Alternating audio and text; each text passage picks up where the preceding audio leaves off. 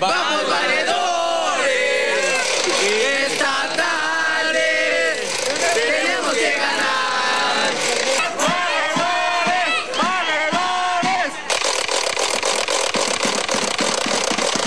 Lo defendieron a muerte. Lo gritaron desde sus entrañas. Empujaron como fieras. Lo sufrieron como nunca antes. Con nervio, con ansiedad, con dolor profundo. Xochimilco es su territorio. Tantas ofensas, tantas injurias, tanta burla y tanta provocación generada por este hombre convirtió la jornada en una auténtica guerra entre valedores.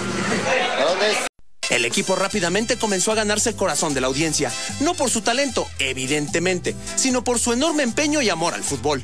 Personajes como el Morris nos dan una muestra de su empeño por defender sus ideales. No me echen la culpa a mí. cabrón! ¡Pon la conciencia a la chingada! O el cuchillo, quien suple su baja estatura con velocidad y sobre todo clase. ¿Quién mejor que la paca para mostrarnos cómo aprender de los errores? Bueno, a mí en lo especial por dentro siento que, o sea, me lleva la, la o sea, siento gacho porque, o sea, no, nada más no, no sacamos ningún pinche partido, profe. Y claro, la motivación, la especialidad de la casa, cortesía del rey del barrio, el profe Venus.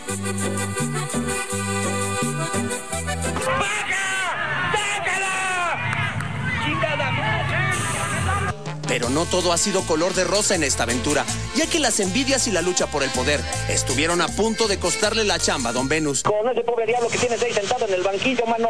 Nomás caga a los muchachos por cagarlos, hombre. Yo tumbo a Don Venus, yo- Luis García Postigo, paradójicamente el niño artillero del fútbol mexicano, se encargó de crear el movimiento antivaledor, cuyo único objetivo es tratar de mermar la moral y acabar con la autoestima de este grupo de jóvenes de entre 14 y 18 años.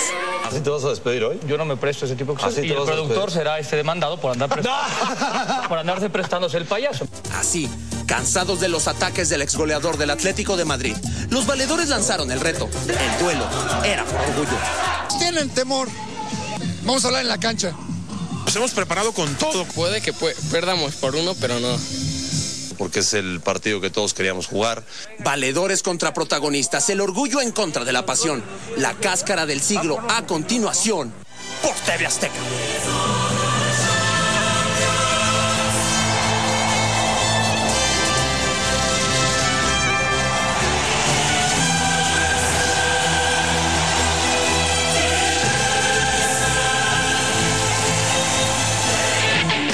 Amigos de TV Azteca, comienza el clásico de la infamia entre protagonistas y valedores. Valedores le quiere quitar el invicto al equipo. Protagonistas, atención que ataca el Morris, viene el Morris, sigue el Morris, se cayó. Pedían penal, no hay nada, revienta Martinoli. La tarea, disculpa si se vaya. Centro de Roberto Medina, segundo palo, sale la paca, regala la pelota, Paco Gabriel, gol.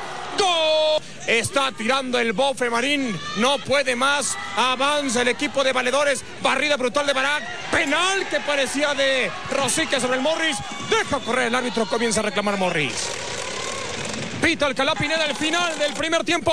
1 a 0 gana protagonista. Ve usted los rostros de la perdición. Comienza la tarea. Roberto Medina quiere sorprender a la Paquita. Primer impacto que mete protagonistas. Barrida voladora de Luis García. Falta. Pelota detenida para el equipo de valedores. Ahí está García. Pide la gente de valedores amarilla. Observamos la repetición. Ve usted el guadañazo brutal por parte de Luisito García. Flashback. ¿Cómo olvidarlo? Aquel clásico. Vea usted aquel 5 a 0 típico. Siempre en los clásicos García da de qué hablar. Siempre se esconde. Y aquí me lo echaba Bricio. Acá no lo echó Alcalá. Luis García ya calienta allí, sos una verdadera gacela, ve usted. Qué precisión, qué presencia, se ríe Campos. Ya no puede más, García está lesionado, se desgarró. Viene tocado, ¿cómo está todo el equipo azul? Bien plantado atrás, defendiendo, reventando la pelota. Está ganando protagonistas que está dando un buen partido. El torero pasa de largo en el fondo, está Careca, controla. Hombre esbelto, viene, a caray. ¿Cómo? Viene Robiño, viene RBD y también viene guardadito. Se enoja Campos, hace Douguiña, no puede creer que vengan los refuerzos. ¡Foul! Clarísimo de Martinoli. Este hombre que se lleva amonestación de los más talentosos, por cierto. Hay que destacarlo. Un hombre de fortaleza, de presencia física. Tremendo jugador. Bueno, ha estado amonestado. Vea usted la posesión. Me se quitan a Rosique. 93% valedores, 7 protagonistas. Ese fue el disparo del Memo. Vea usted a Rosique tirando la patada a la voladora. Tremendo zigzagueo de Memo. Se quita dos, impacta a portería. Se cae Eugenio Díaz, el hombre de los remates. Le reclama Alcalá. RBD simplemente observa. Falta. Papa viene el guardameta Paquita. Marín como puede, como puede para atrás. Viene Roberto. Roberto, atención que viene el segundo el disparo para el ángulo. Paquita.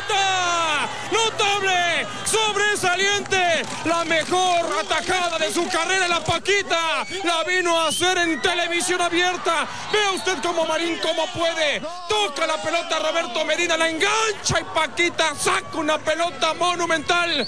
Ahí tira de esquina. Se está acabando el partido. Paquita va centro RBD. Penal de Marín sobre Paquita. Alcalá se lo oxiso. No ve nada. Y después disparo al poste. Careca como puede. Revienta la pelota. Medrano no lo puede creer. Quiere que se acabe el partido. ¿Cuánto tiempo? Dos minutos más, dice Campos. Alcalá se pone de acuerdo. Dos más. Dos y se acaba todo. Atención que Valedores está encima todo el partido. Sí que no hay falta, señor árbitro. ¿Qué está marcando? Viene el memo, el disparo. Saca la pelota Careca. Cerca otro centro más. La pelota que pasa se acabó. Protagonistas. ¿Qué, qué quiso hacer? Y luego se tira. Y después la bola bota bravo, pero bien Careca. ¿eh? Muy bien Careca. Ahí está el bote. La cancha era infame. Pero qué bien responde a mano izquierda Careca.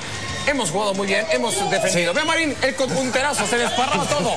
Y el impacto de Roberto Medina, 62 kilómetros por hora. Ve Rafael a la cara, y RBD. Y la Paquita, No, bueno. Usted la tajada de la Paquita. Listo para la selección mexicana, la Paquita. Impresionante, la, ta- la, la Paquita nos quitó un gol de ensueño. Esta entrada de Barack Feber es vergonzosa y lamentable que no mereció tarjeta amarilla de Alcalá. ¿eh? Yo mejor me guardo. Y luego No, no, Martinoli. no. Vean ustedes al señor cavernícola Cristian Martinoli Curi. El delegado se estaba acercando y me dijo. Y vean a Rosique. Por favor, no, otra. Vean a Rosique, por favor. Estábamos desesperados. El físico no nos daba los 10 minutos. Realmente ya pedíamos esquina. Mira, y vean a Martinoli ahí, otra vez. Ahí me plancharon y ahí Mira, amenazo. vean amenazo a Martinoli. Ahí se me fue. Y tómala. Eh. Ha sido una actuación bochornosa por parte del equipo de protagonistas. No, bueno, pero esto- García. Atención. Atención. Con el uno, cuchillo. uno. Empiezan ahí. Calentando al rival. Exactamente, exactamente. Alcalá mira de espalda, no ve nada. Dos. Ecuánime el cuchillo. Cachetada, ecuánime ahí. tra- Mira, ¿qué, qué, qué te comes, mi hermano? Eh, eh. Y sigue, sigue. ¿Qué pasó? ¿Qué pasó? Y luego pechazo. Otro más. García tratando de calentar. Los Ese mosco, ese mosco. No le avisaban al árbitro porque pensaron que era Marrufo. Mira el cuchillo, mira el cuchillo, se defiende. Le agarra la camiseta a García. exactamente, también el cuchillo, ¿qué Y le le va a meter una bofetada. Exactamente. Atención con el, atención con el brazo al cuchillo. Eh, Atención. uh, Uy, ahí se tiene que ir expulsado García. Sí, pero el cuchillo no se dejó. Miren aquí. Mira, mira, mira. ¡Pum! Adiós. Pero ahí está Eso, Alcalá ahí viendo. está. ¿Cómo no puede expulsar a Alcalá si está observando claramente que era una falta? La compensación. Mira García, mira García. No, otra. No, no, no. Y al final violento, tenemos esta jugada de Martinoli. A ver, vamos a ver. Ahí va Marín. Ve usted cómo jala a la Paquita. Era penal y no se marcó. Bueno, fue El Morris, gran- el papá de Morris. Yo tengo que ser sincero, cuando me doy cuenta que Campos no puede jugar y que me dice Careca que él había jugado en el arco, dije, "Mm, Ya bailó. ya se me ha... Pero qué descubrimiento Qué lo de. Careca como portero, la verdad, ¿eh? Indudablemente. 30 años tarde, pero sí. Pero Careca, ¿jugaste de portero en algún momento en tu carrera? Yo a los 12, 13 años quería ser portero y jugaba ahí en esa posición, me gustaba, sí, sí. Pero por la estatura no, Pues- no, no jalé. No, pero, pero me refiero porque ti- tiene idea para, para salir mucha por la pelota, para Sí, moverse sí, en el sí. arco. Fue muy, muy importante lo que hizo Carlos Alberto. Miren el festejo de- Desastroso. Ya. Campos le estaba dando órdenes ya después a los valedores de Iztacalco, les decía cómo atacar. Pero ni con Campos pudieron, Ni ¿eh? con Campos, señor. Ahí estaba el RBD que trae unos calzones No, bueno. de última moda. Bueno, que por cierto no me reventó un dedo de la mano. Te desgarró un dedo. Es el Robinho que nos empezó a pintar la cara hasta que aparecillo con el hacha. El Don Venus es el único técnico que le da la bendición a sus Juan- jugadores. Juanito antes. Alvarado. Juan Alvarado y las Juanito estampitas. Alvarado. ¿no? Mira la marca, mira Marín. Espérame, es un penal No, no, ¿cómo descarado, ser señor? Medrano. André, te tiras encima de él. Es un después penalti. No lo dejas levantarte. Luego el señor Paco Gabriel hizo una donación de camisetas y de uniformes para los valedores. Se tomó una foto. Esta es la salida ya como, como figura del señor Marín.